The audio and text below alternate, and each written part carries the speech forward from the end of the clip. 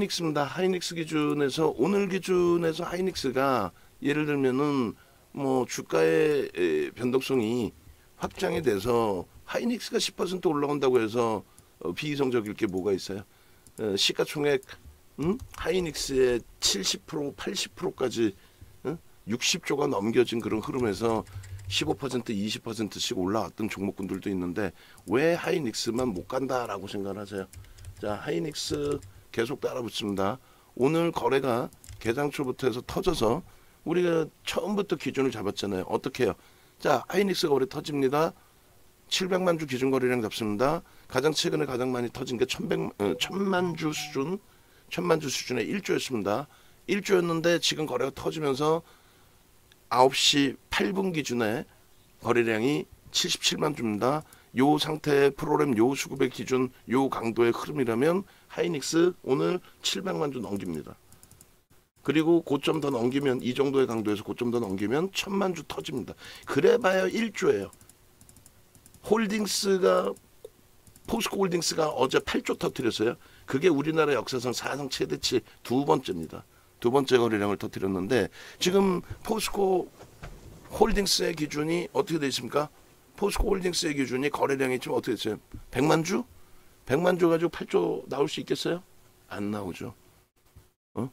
하이닉스입니다. 오늘 하이닉스 집중하시고 LG화학을 이렇게 되면 우리도 마지막 자락에 매수가 버거워진 상황이 되는데 그거 염려하지 마시고 어? LG화학은 가져가면서 대처의 기준 잡을 테니까 그리고 과도하게 형성돼 있는 음, HD 현대 인프라코도 어, 일단은 버겁지만 멈춰서서 편입 기준 그리고 중기로 어? 지금까지 으, 잘 운영해 오셨던 부분들 전체 포트 그 기준에 예, 차분하게 대처하시면서 긍정적인 어, 시각으로 들여다보는 걸로 설정을 합니다.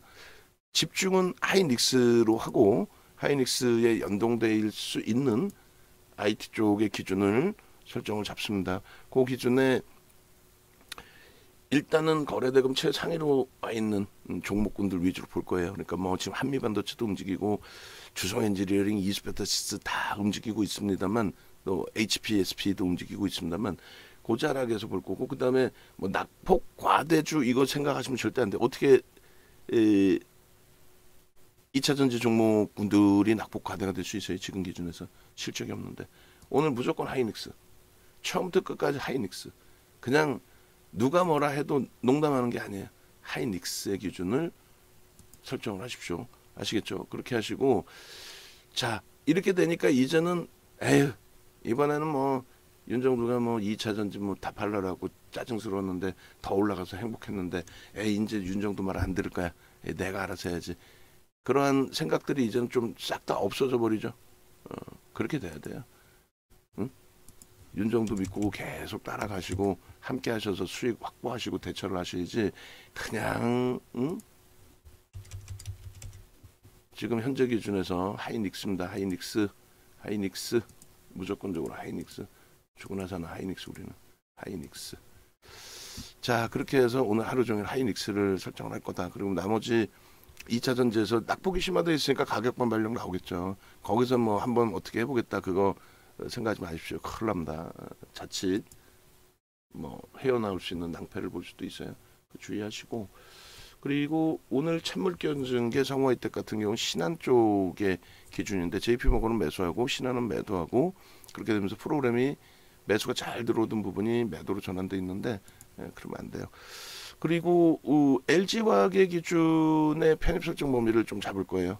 LG화학 그리고 어, 조금 거래가 아쉽긴 합니다만 현대 로템이 그래 최근 거래량 대비해서 어, 잘 거래가 수반되어져 주고 있어요. 그리고 성화이텍은 수급이 어떻게 이제 바뀌어질런지를 좀 고민을 해보면서 추가 편입 예, 가격대 기준을 설정하고요.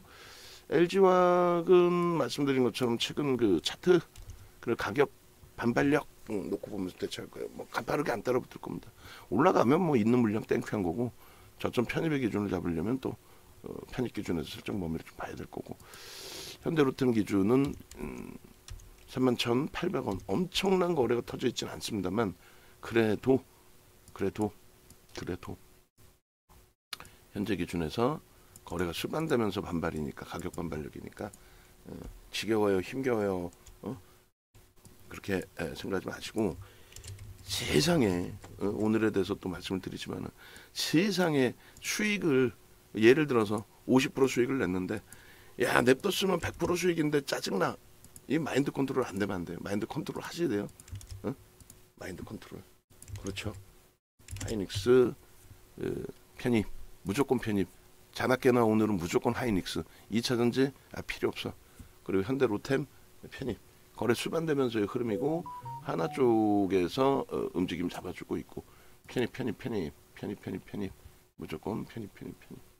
음, 그렇게 해서 어, 설정 범위 좀 제대로 잡아가시자고요.